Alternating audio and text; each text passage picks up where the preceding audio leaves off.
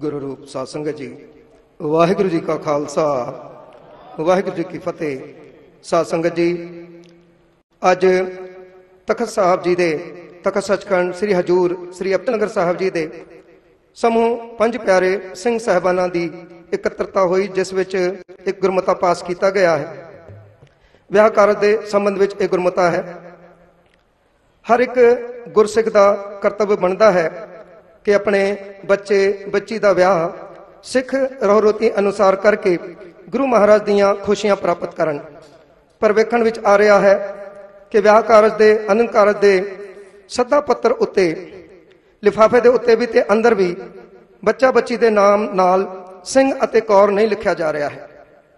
ਦੂਜੀ ਗੱਲ, ਜਦ ਬੱਚੀ ਲੰਮਾ ਫੇਰੇ ਲੈਣ ਲਈ ਗੁਰੂ ਮਹਾਰਾਜ ਦੀ ਹਜ਼ੂਰੀ ਵਿੱਚ ਹਾਜ਼ਰ ਹੁੰਦੀ ਹੈ ਉਸ ਵੇਲੇ ਲੜਕੀ ਦੇ ਕੁਝ ਰਿਸ਼ਤੇਦਾਰ, ਲੜਕੀ ਦੇ ਸਿਰ ਉੱਤੇ ਚੁੰਨੀ ਤਾਣ ਕੇ ਜਾਂ ਫੁੱਲਾਂ ਦਾ ਛਤਰ ਬਣਾ ਕੇ ਚੰਦੋਵੇਂ ਵਾਂਗੂ ਉਸ ਲੜਕੀ ਨੂੰ ਗੁਰੂ ਮਹਾਰਾਜ ਦੀ ਹਜ਼ੂਰੀ ਤੱਕ ਲੈ ਕੇ ਆ ਰਹੇ ਹਨ।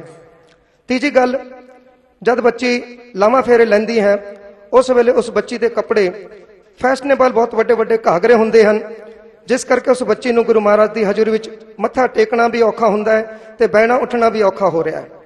ਇਸ ਕਰਕੇ ਗੁਰਮਤਾ ਪਾਸ ਕੀਤਾ ਗਿਆ ਹੈ ਕਿ ਅੱਜ ਤੋਂ ਬਾਅਦ ਜਿੰਨੇ ਵੀ ਵਿਆਹ ਕਾਰਜ, ਅਨੰਦ ਕਾਰਜ ਹੋਣਗੇ, ਉਹਨਾਂ ਦੇ ਸੱਦਾ ਪੱਤਰ ਉੱਤੇ, ਲਿਫਾਫੇ ਦੇ ਉੱਤੇ ਵੀ ਤੇ ਅੰਦਰ ਵੀ ਬੱਚਾ ਬੱਚੀ ਦੇ ਨਾਂ ਨਾਲ ਸਿੰਘ ਅਤੇ ਕੌਰ ਲਿਖਿਆ ਜਾਵੇ।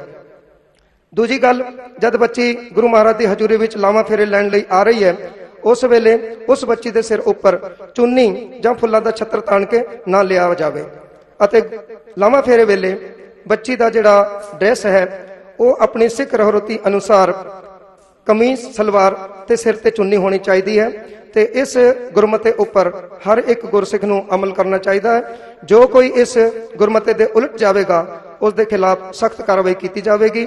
ਸਮੂਹ, ਗੁਰਸਿੱਖ ਮਾਈ ਭਾਈ, ਇਸ ਗੁਰਮਤੇ ਦੀ ਪਾਲਣਾ ਕਰਕੇ ਗੁਰੂ ਮਹਾਰਾਜ ਦੀਆਂ ਖੁਸ਼ੀਆਂ ਪ੍ਰਾਪਤ ਕਰੋ ਜੀ।